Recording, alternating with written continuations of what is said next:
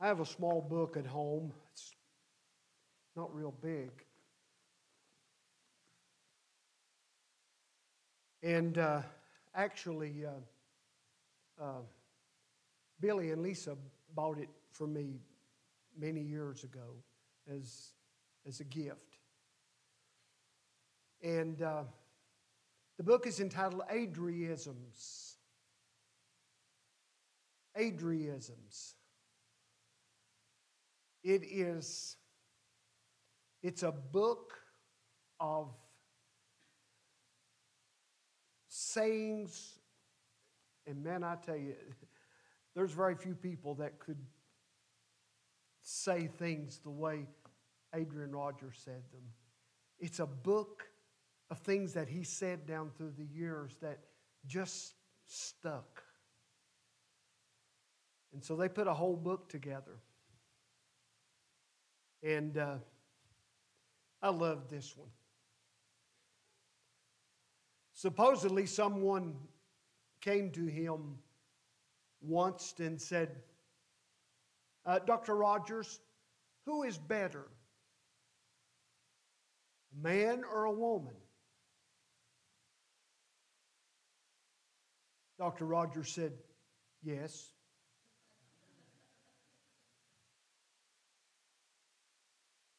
Now, he wasn't trying to avoid that, that, that's something like I would do.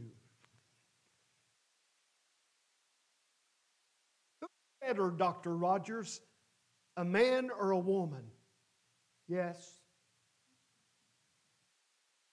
Yes. He went on, the man is superior to the woman at being a man. And the woman is superior to the man at being a woman.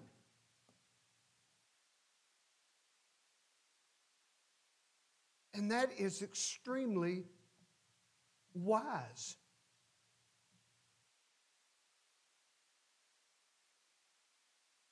I said this morning we were going to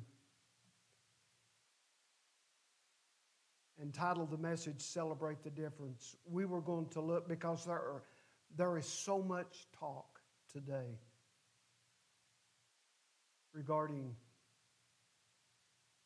transgenders.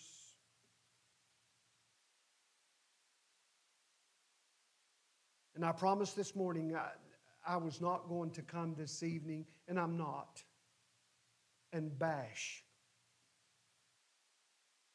those who choose that lifestyle. I kind of look at it like this that's between them and God.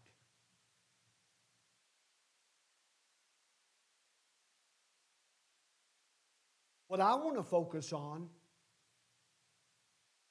is the fact that God made male and female, and He did it for a reason. Some of the things we're going to look at tonight, I'm going to promise you, they're just downright funny. Some of you who are sitting, seated with your spouse, you're going to be elbowing. Probably, probably the wife is going to be elbowing the husband more than the other.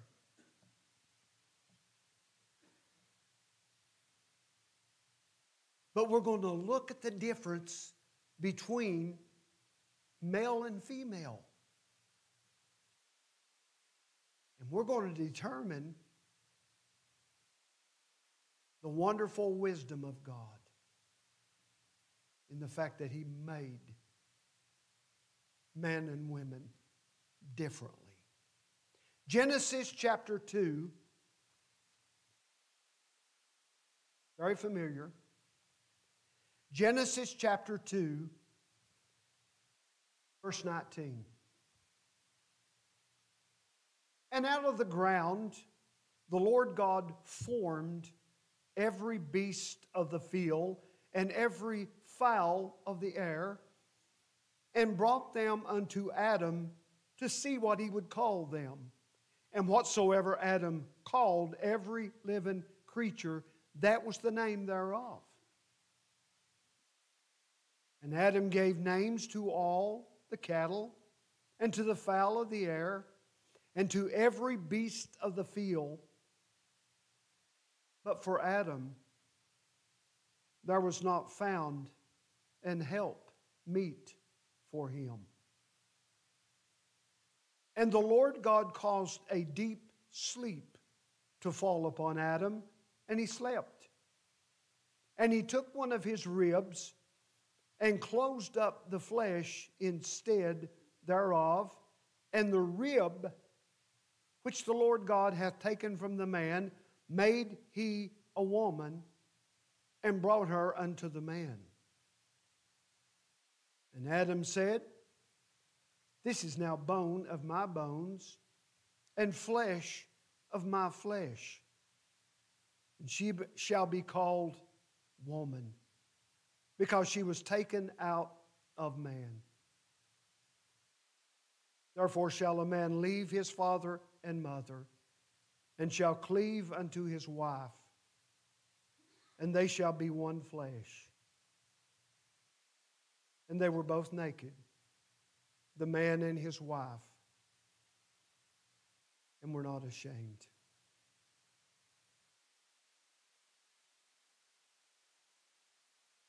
After God's creative activity in regard to all of the creatures, Eve at this particular time has not been created. There's just Adam. And all of these animals. And God tells Adam, I have a job for you.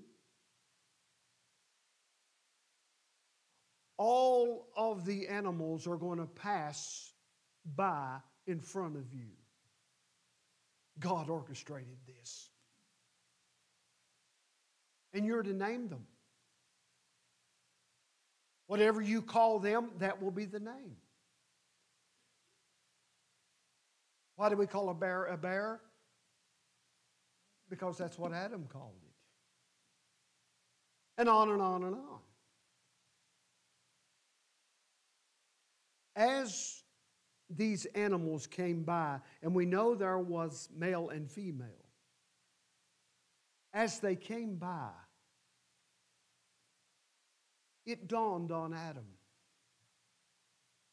All of these animals have a mate, but there's only me. Now, I'm not suggesting that he complained to God, but it was crossing his mind, and God knew it. So he caused a deep sleep to come upon Adam. And he opened up his side and took forth a rib for which he created the woman. Neither man nor woman was superior, but they were different. And they are different because God made them that way. And that's going to be our focus.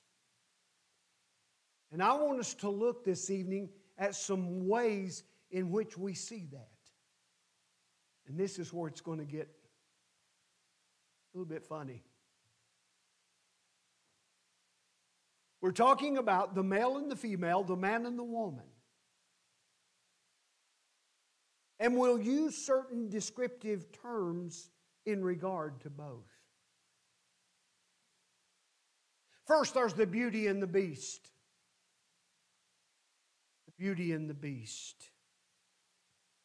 Generally speaking, and we'll have to use a lot of generalities in this, generally speaking, men are more physically stronger than the woman. God created Adam with a stronger frame. I mentioned this morning the morning service about the post I had seen on Facebook where the title of some beautiful young collegiate swimmer, had been taken from her because a male swimmer decided that he related as a female. And he broke the record. He was stronger. Generally speaking, men are going to be more muscular, they're going to be stronger. Now, there's a very practical reason for that. What was the job that God gave to Adam? Remember?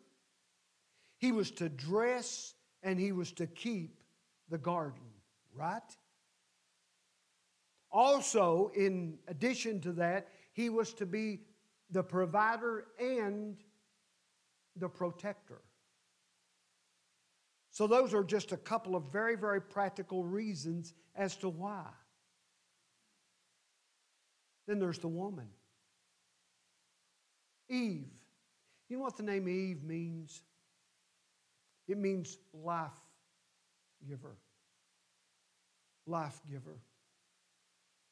God made Eve to nurture and to love. And because she was physically weaker than Adam, did not make her inferior in any way. No. So, which is better? Neither is better, just different. Second, there's the tortoise and the hare. The tortoise and the hare. The man is like the hare in that he has all of this energy. Generally speaking, he has more energy than the woman. These are in generalities. The woman, on the other hand, is more like the tortoise. You remember the story, the race between the tortoise and the hare? The hare takes off and runs, and it is miles ahead. But it stops and rests because it's worn out. On the other hand, the tortoise begins the pace, catches where the hare is, passes the hare, and wins the race. A man normally could win a 100 yard dash. A woman, on the other hand, would win a marathon. It's just the way that we are constructed. The woman generally is going to be so much more durable. The man expounds all this energy, wears himself out. The woman, at her own pace, but she lasts. She wins the marathon. Which is better? Neither is better just different. You get a kick out of this. There's the romantic and the mechanic. The romantic and the mechanic. As I noted earlier, Adam's job was to dress the garden, to keep it. Eve's responsibility was in the home. She was to nurture. She would also birth and raise children. So, generally speaking, husbands are not going to be, and I'm watching the arms flying, husbands are not going to be anywhere near as romantic as the wife. I thought it was kind of funny. You can just look at the books men and women read and see that. Men read books on sports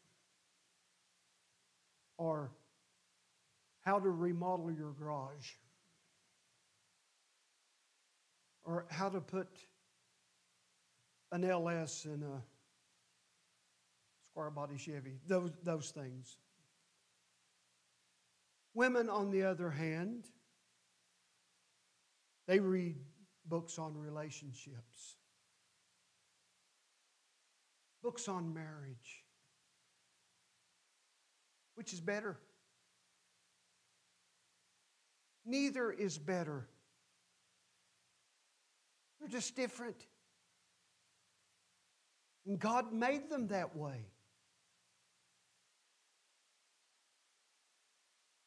Number four, I call the radar and the computer. The woman is the radar, the man is the computer. Men and women process information differently. I think every single one of us in here that are in a marital relationship would understand that. There's a reason for it. The left hemisphere of the brain deals primarily with logic. The right hemisphere of the brain deals primarily with emotion.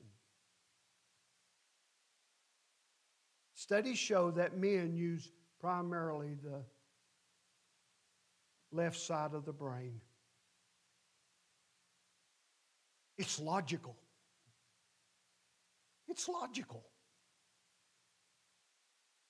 Woman, on the other hand, who's more orientated toward the right hemisphere, operates on emotion.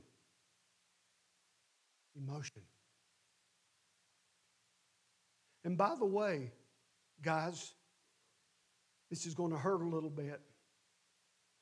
The truth of the matter is, women do use left brain logic, but they also use right brain emotion. Generally speaking, men don't. So that's why I've said before ladies, be patient with your husband. He just has half a brain. Keep that in mind. Always remember that. It's not that he just has half, he just uses half.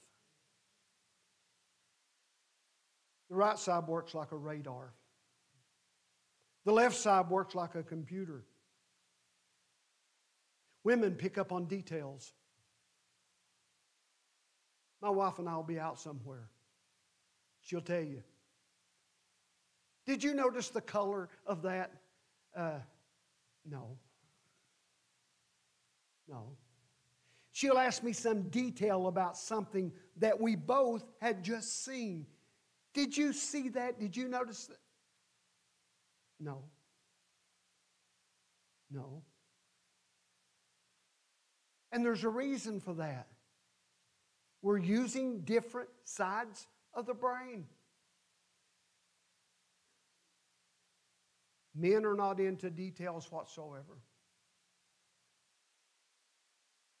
Guys, you come in of an evening, you've been to work, your wife has been working or doing whatever she does, taking care of the home. She wants to know what your day has been like. On the other hand, if you ask her what her day has been like, she will tell you in great detail everything that happened. The time they got up in the morning until that present time, every detail. The woman asked the husband, he said, Yeah, he's okay. Just another day. Which is better? Here is better. Just different. Then there's the code speaker and the reporter. You know what men use language for primarily? To dispense facts. That's basically what it comes down to. The woman, on the other hand, uses language to express emotion. Women share, men report. The big difference. And again, those of us who are married, we get this. We understand it. And I remind you that these are generalities. There might be some exceptions, but generally speaking, this is the way it is. Because God made us this way. That's why I entitled the message, Celebrate the Difference. Which is better?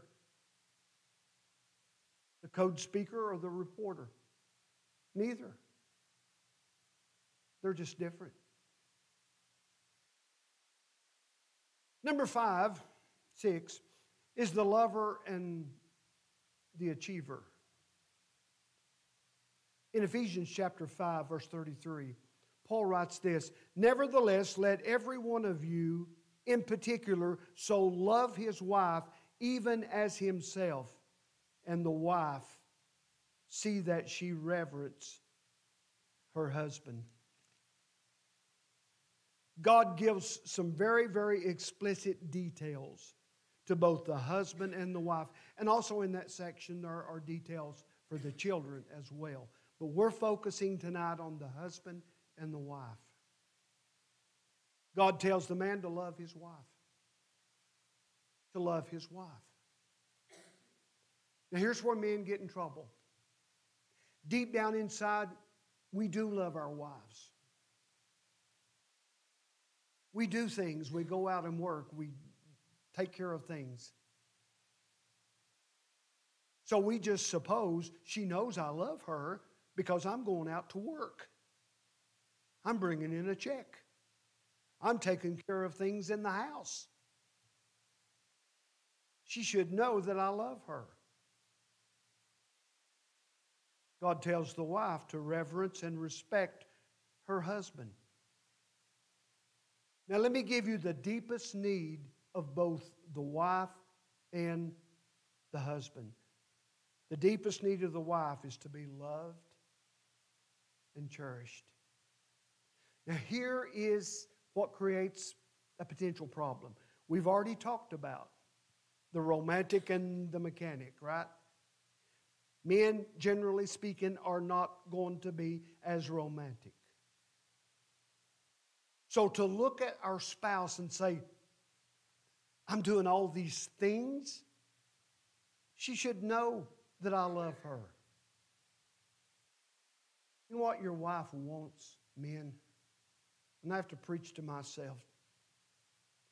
Your wife wants you to tell her that you love her. She needs to hear that. I love you. We should not assume that she knows that. She needs to be told. What about the wife? Deepest need of the husband is to be respected, to be revered. And the wife, who is really blessed of God, understands this. And she does everything in her power to build up, to encourage, to say things to him, even though he probably is not telling her anywhere near as much that he loves her as she would like for him to tell her. She obeys the Word of God.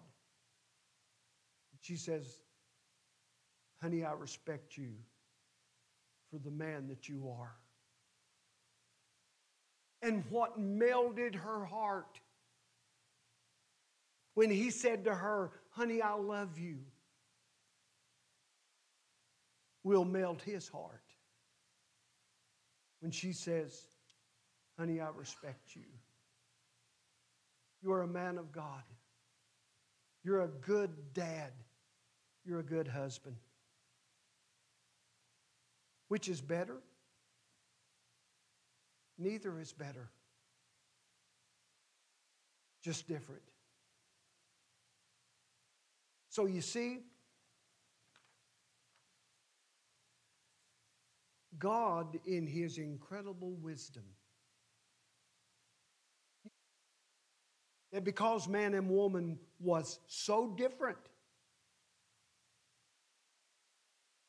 He made them that way particularly for a reason. Because they would complement each other. The text I read earlier in Genesis chapter 2, I use often at weddings. There's a part in there where it says that the man is to leave his father and mother and be joined to his wife, and they shall become one flesh. One flesh. And even with all of our differences, when we understand that we're different and that God made us that way, there can be that oneness. That oneness. I told you I was not going to bash. I have my feelings. I'm sure you do as well. I'm going to be honest with you. This whole transgender issue is just one in a whole lot of things, perverted things that are going on in this nation right now. And it's leading this country into paths that I shudder to think of what awaits America. You look back and see at times when God judged a people. One of the times that He did tremendously, besides the flood, was in the destruction of Sodom and Gomorrah. And sexual perversion was such a big part of that. We have become a society that's more susceptible to being open and new mourns and just accepting the way that God created us. I don't know what awaits this country. I can tell you from my perspective, it doesn't look good. It really doesn't. But we're living here in East Tennessee, and we're pretty much Bible Belt people. So, those of you who are married, celebrate the difference in the sexes. Because God made both male and female. So if anyone has a problem with that, I would suggest they take it up with God. Let's stand.